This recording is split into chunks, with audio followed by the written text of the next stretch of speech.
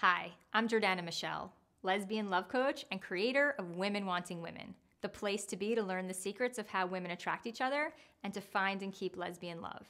And there are links below if you want free access to some of what I teach there. But in this video, I want to talk about mistakes lesbians make in online dating. And this is a really big deal because dating apps are an amazing resource for finding love.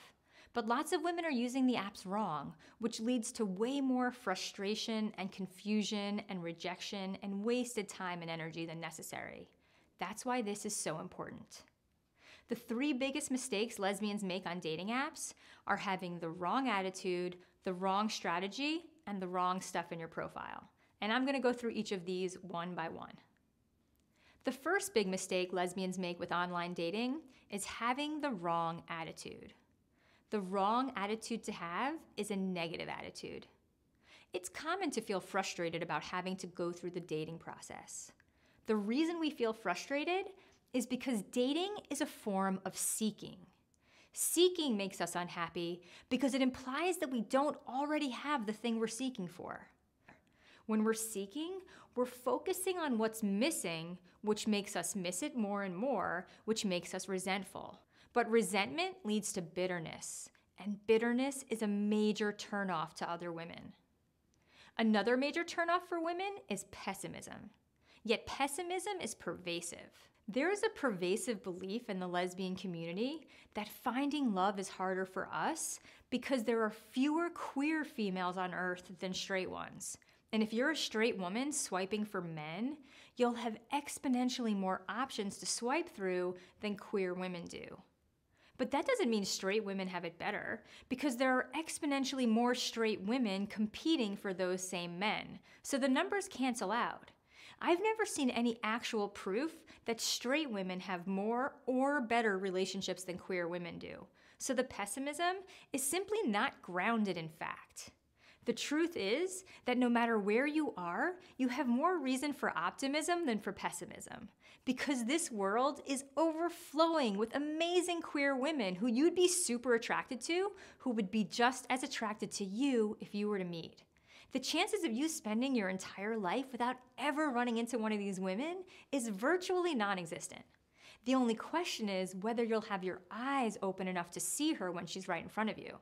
Because the truth is, pessimism acts as a nasty filter that blocks us from seeing the opportunities that come to us, whereas optimism does the opposite. When we're optimistic and open, we see and attract far more opportunities for everything good that we want. One of the biggest obstacles to staying optimistic in dating is rejection. Unfortunately, rejection is an inevitable part of dating for everyone, even if you're a famous movie star. But when it comes to the dating apps, most rejections aren't even really rejections.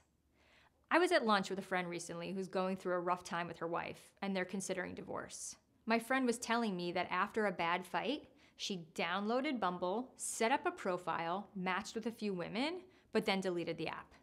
She did it because she wanted to prove to herself that she could survive the divorce and that there are plenty of other women out there to meet so many of the people you match with on the apps will disappear on you for reasons like this, even though they won't ever tell you so. It could feel like ghosting and rejection, but it's not, because they were never available in the first place. The fact that you matched at all means she thought you were cute, and if she were single or available, she probably would have wanted to connect. Now, sometimes when I bring this up to stop people from feeling rejected in these kinds of situations, the response I get is that it's wrong for those people to pollute the app with their profiles since they're not looking for serious love.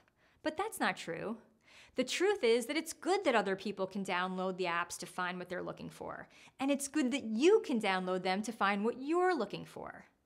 These other humans might be crowding the space, but they're not keeping you from finding what you want. The apps are kind of like train stations in that way. Even though everyone's going different places, everyone has an equal right to be there. The key is not to take it personally. Taking it personally is the wrong attitude, and so is pessimism and so is bitterness. Don't make that mistake. Be patient, optimistic, and open minded instead, and you'll have far more success with online dating. The second biggest mistake that women make with online dating is having the wrong strategy. Before becoming a dating coach, I was a litigator. Litigation is all about strategy. And the best litigators I saw were the ones who knew the court rules the best and used the rules to their advantage. They didn't complain that the rules were annoying or unfair. They accepted the rules as they were and worked with them to win their case. There are certain facts of life in online dating that we have to accept and work with strategically to have success with the apps. One of the first rules you have to accept is that you're probably not going to meet your perfect person right away. And that's not just because we're queer. Even straight women know they gotta kiss a lot of frogs before they find their prince. As a rule, online dating requires that you encounter five different types of women ones you want who don't want you back, ones who want you but you don't want them back, ones who you're not attracted to but they're not attracted to either, ones you click with but only as friends, and ones who are just as attracted to you as you are to them. But as a rule, even when there's mutual attraction, some women will match but never reach out, even if you say hello first. Some women will never commit to meet in person, even if they reply to your messages and seem normal. Some women will lie about things that are a big deal to you, whether it's their age or their height or their job or their city of residence or their marital status or whether or not they have kids or pets. Some women will seem like a great match and super into you, but when it's time to make plans, she'll tell you she just wants you to join her for a threesome with her man. Some women will seem into you, but then they'll disappear without explanation. And some women who you're pursuing now and ones you had crushes on in the past will get together and hook up with each other without ever inviting you along, obviously. And we have to assume that it's a rule that all of these things are eventually going to happen. And when they do, the right strategy is to accept it and move on as fast as possible. None of this is personal, it's just a part of adult dating life. The key is not to make yourself feel bad about it because it's not personal and everyone else is in the same boat. Another bad strategy is wasting time chasing the wrong women. Anyone who doesn't want you and doesn't put in the effort is the wrong woman, period. It's a waste of time to chase women who aren't excited about you because attraction is not a choice.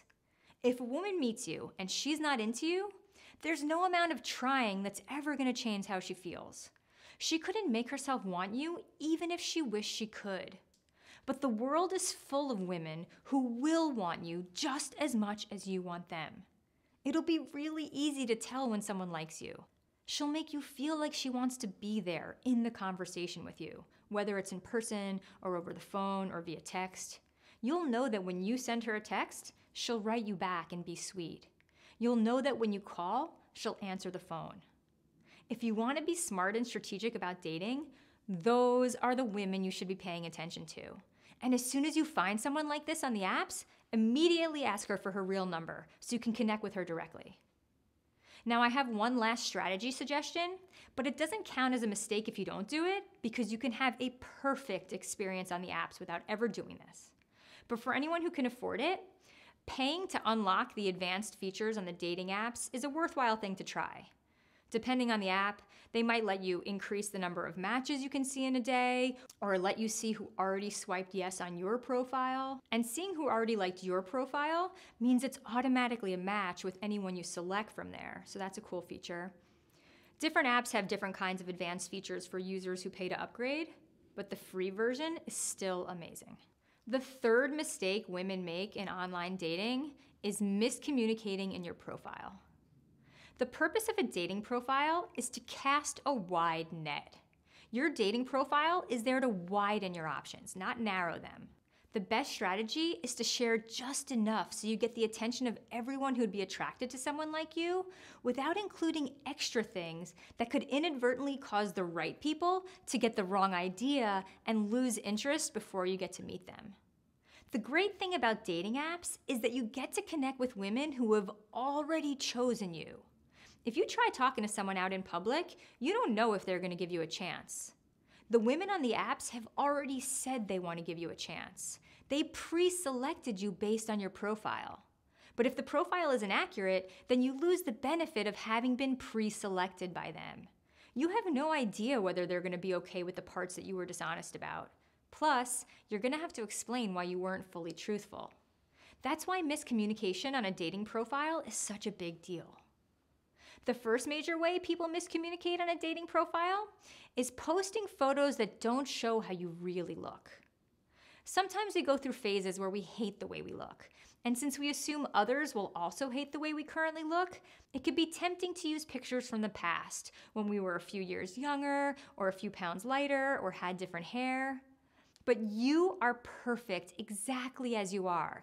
And today's you is the only you that exists in the real world. And accurate photos are an amazing tool for finding and attracting the entire pool of women who want you and accept you exactly as you are.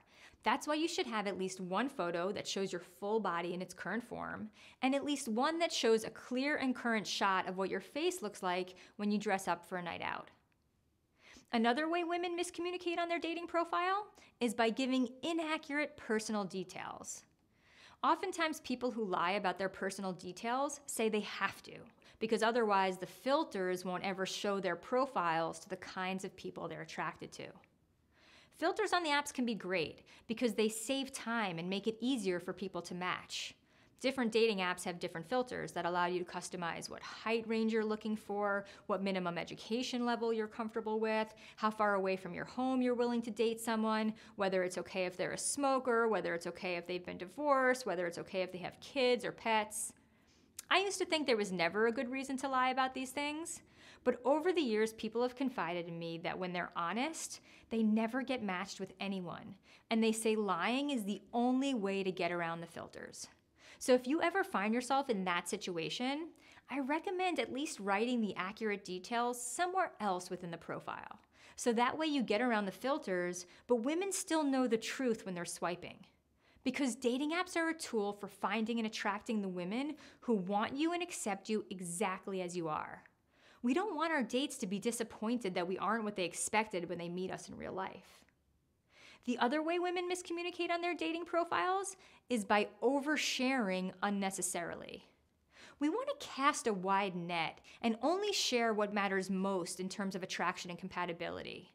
Being too specific about insignificant personal traits and preferences could risk giving people the false impression that you're too different from each other and therefore not compatible. Dating profiles are not meant to be places of self expression. It's totally different than social media. I once coached a client who refused to give a woman a chance because it said on her profile that she enjoys wine tastings. My client thought it sounded pretentious to write that on a dating profile, and she assumed they'd have nothing in common. And while this has nothing to do with wine tastings, it really shows how easy it is to be misunderstood. Unnecessary details can get taken out of context and give a false impression of who you are. It's not necessary to list all your favorite things and biggest pet peeves or whatever else, because those things don't truly matter for deeper compatibility. Less is more. And definitely don't list your deal breakers. It's really common for people to say things like no men, no couples, no cheaters, no rebounds, no random hookups, nobody who voted for Trump, no bad vibes, nobody who doesn't actually read my profile. Now, let me be clear I think it is amazing for women to know what you want and have high standards and never settle. But you can do that without defensiveness or negativity. Since dating profiles should be short and only include what matters most, it's a good idea to keep it in the positive instead of being defensive and calling out the things you don't want. So, those are the biggest mistakes women make in online dating. But dating apps are amazing. They've made it exponentially easier for women like us to find each other. It's so incredible that you can simply open up your phone and find out which queer women nearby are available and attracted to you without even having to leave your bedroom. That's an absolute miracle compared to how dating used to be. If you're currently single and using the dating apps to try and find love, the good news is that you're doing the right thing. Keep going. This world is full of queer women who want to share the exact kind of connection that you do. And the dating apps allow you to show up in any city, any place in the world, and have your profile shown to all the other available queer women in the area. That means that finding love is entirely within your hands. So until next time, keep remembering that hot lesbians are everywhere, that love is real, and that the woman of your dreams is on her way into your life in perfect timing and I'll see you in the next video.